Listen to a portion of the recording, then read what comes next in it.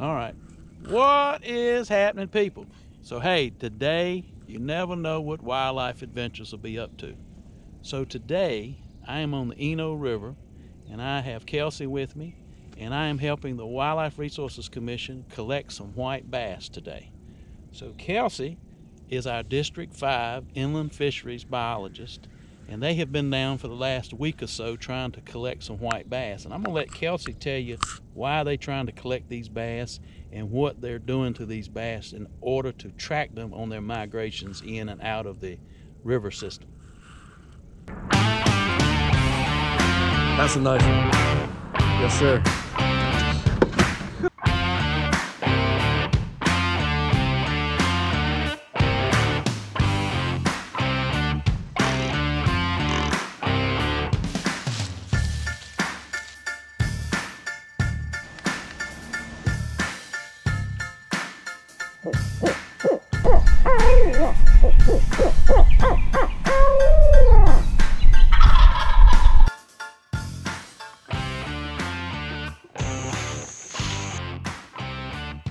Boom!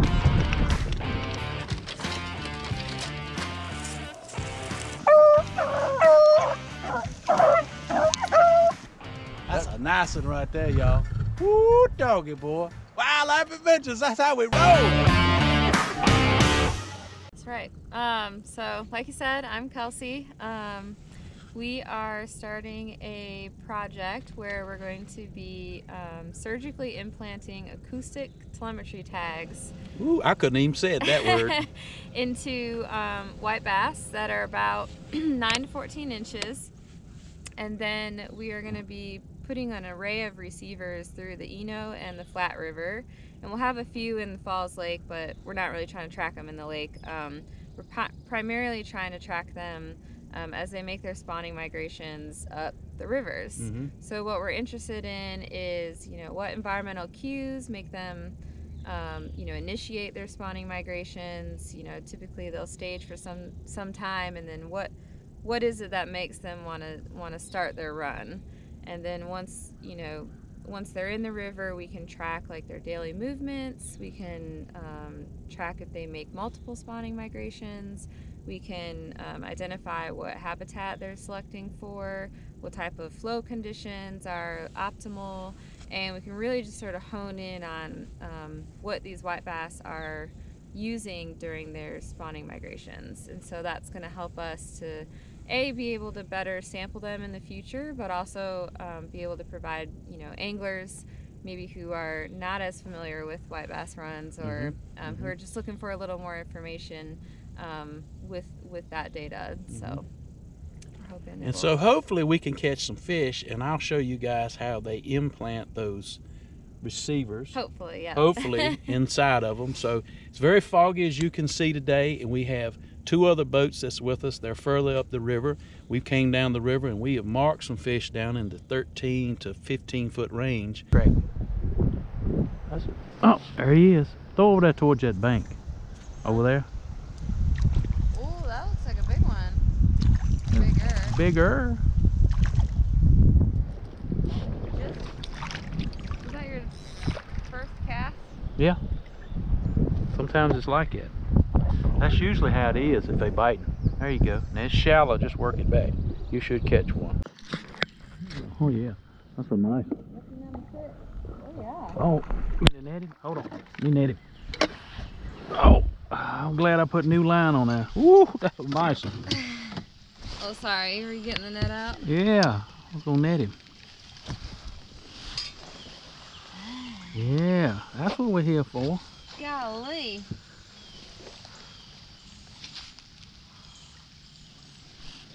Yes. 12? I'm gonna say 14. You think it's 14? Yep. Wow, you're right. I must have been seeing a lot of big fish yesterday. Or two days ago. Yeah. Cool. She's almost 15 inches, won't she? yeah. Nice. That's pretty big. It's nice. Nice white bass. So, so they just called it. The electrofishing boat just called us and said they got into a bunch of white bass further on up the Eno River. So, Anyway, we've come back to the dock and we need to work these fish up and actually put these uh, these trackers inside of them. So we're gonna all get tied up here in just a few minutes and uh, anyway, we're gonna see how that's done. Hey, stay with us. You want to back the truck in? Am I just leaving it on the ramp or are we taking it out?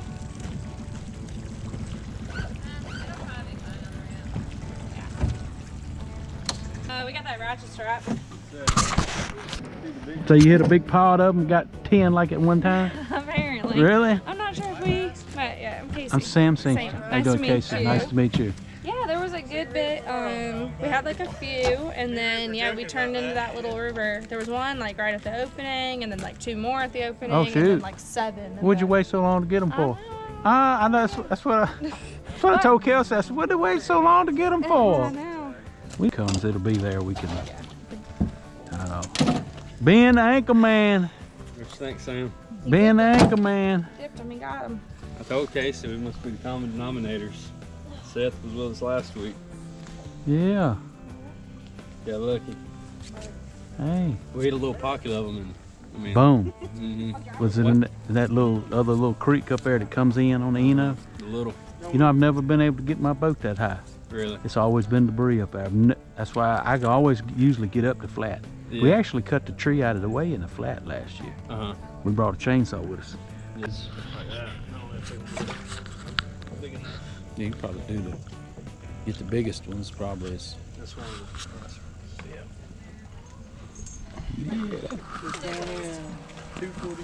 So we're gonna get on the side.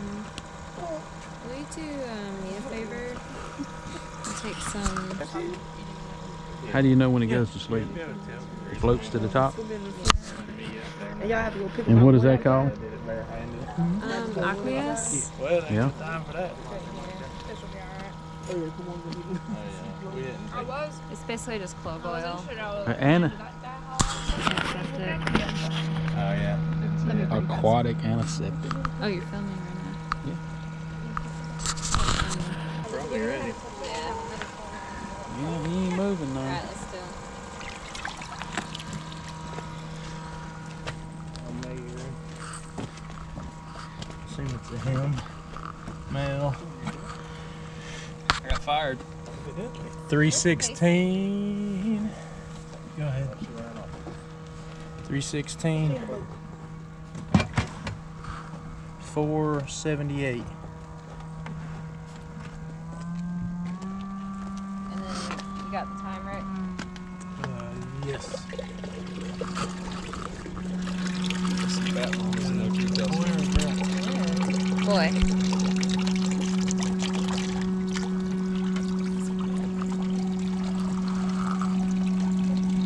So right now I'm just removing the scales so that my scalpel doesn't get stuck in them, sutures don't get stuck in mm-hmm. them. Fish surgery. So now we make the incision.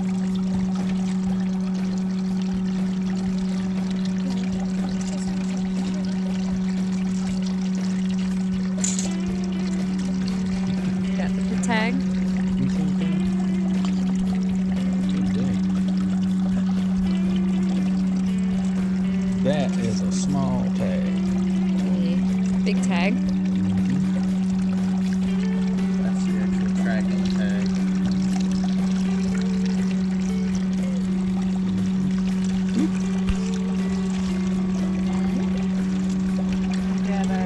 He'll just have a slight tummy ache. Alright, and this is what you said you could do for me if you hooked me in the head, right? That's right. Who's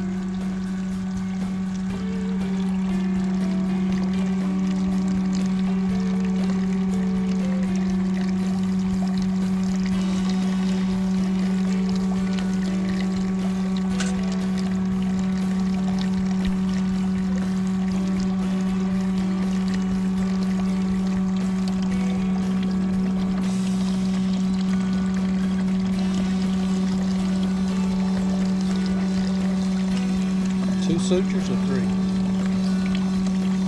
We wrap. Well, I do four. Or excuse me, total total number of sutures or wraps. 'Cause That's two long. sutures. Two One, two. Okay. Just so it's But two. it'll be okay. Um, now then.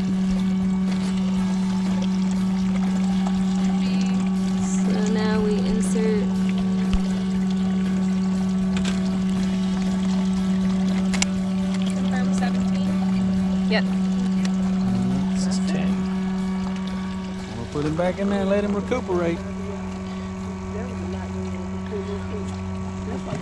But That's uh, okay. passive We'll be able integrated if they died from transmitter. surgery or not. Which Sounds So it's got to have So that. It's this got to is- have. Then. Right. This is essentially the same as what you put in dogs to like keep track of your dog or your cat. Okay, so it's got all the information on it, Yeah. and that's the one. These are a little less fancy. They just have like a number associated with them, and then we know that number. correct. I Which I think you. that's actually the same as what the dogs have. It's just it just a number comes up. Mhm. Got it. Thank you. Um, a number comes up, and then we know what that number is associated with. Okay. And you know, one of the reasons the commission's been focusing a lot of efforts on white bass recently is because, as I'm sure a lot of you are aware, some of the populations have you know been declining over the last 10 years, or they've just completely disappeared. Um, so our job as biologists is to you know kind of figure out why they're declining, what what could be causing um, these declines throughout the state. So a few of the few of the things that we suspect um, would be you know interactions with other invasive species such as white perch, which we, we see out here in the Eno. Um, you know, competition for resources with those fish. Uh, mortality, whether it's you know, natural or high fishing mortality, and then also um, just you know something to do environmentally that we're just unaware about. So those are kind of the three mechanisms that we're looking into. Um, and with my research, we found that there was a significant amount of fishing mortality, especially during the springtime, which I'm sure you can imagine. Right. We've seen a lot of people out here fishing today.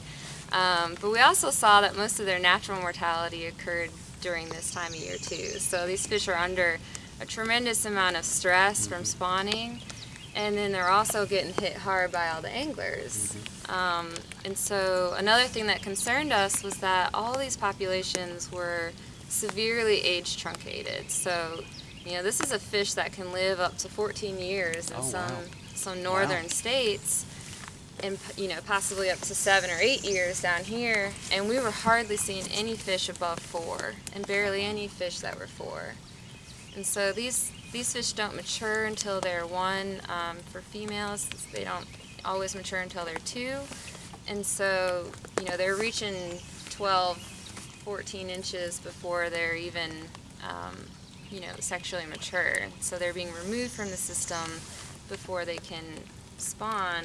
And that just kind of limits the robustness. So they have you know if you have a bad few years of recruitment and you only have fish living to be about three well then you're relying on just one year to bring basically the whole population back And that was one of the reasons the commission made the move to uh, put the size limit at 14 inches.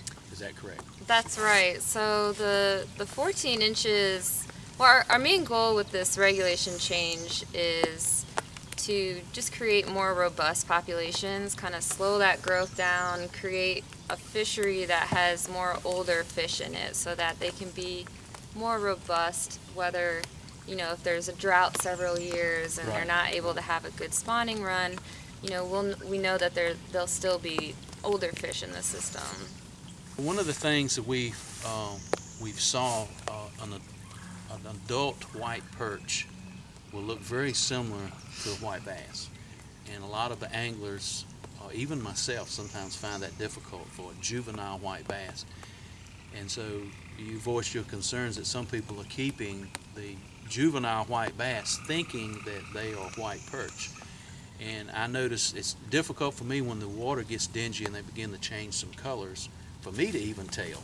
But there's, uh, some differences in the dorsal fins, there's some differences on the tongue that you can tell. So um, just tell us a little bit about the differences for people to look at so they're not keeping an illegal fish. That's right. Yeah, we don't, want, that, to happen. I mean, you can keep as many white perch as you want. right, right, exactly. Um, not if they're white bass. Not if they're white bass. Yeah. So here we have a small white bass. This is probably an age zero uh, white bass. So you can see it's got the lateral line running down the middle of it. And then it's got at least one or two full stripes that run the full length of the fish. And then you get some broken stripes near the top and the bottom. So that's one way um, that you know it's a white bass is when it's got more stripes than just the lateral line. Mm-hmm.